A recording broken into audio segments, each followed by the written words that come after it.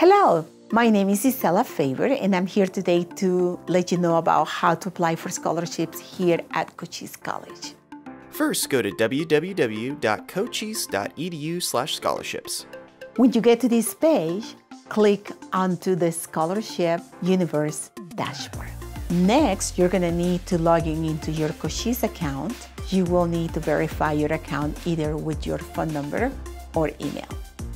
Once you are in the Scholarship Universe dashboard, you're going to be seeing a set of questions that is related to you.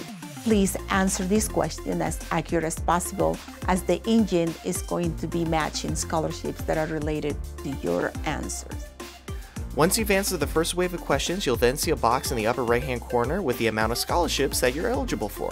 When you click on that box, you'll then see a more detailed list of all the scholarships in which you've matched with.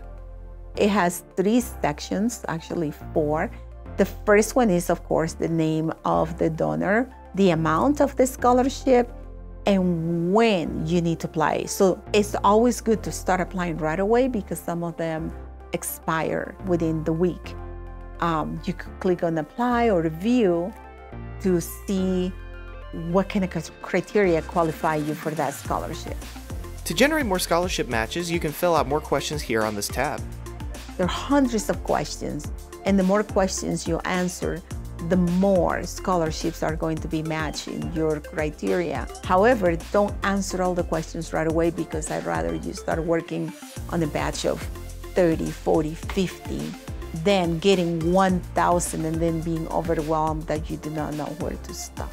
Well, thank you for watching this presentation. I am sure that you're going to do well. If you have any questions, that's what I'm here for. Also, the Office of Financial Aid, they're ready to serve you at any time during the business hours. So please contact us or let us know how are you doing once you complete your scholarships applications. Thank you.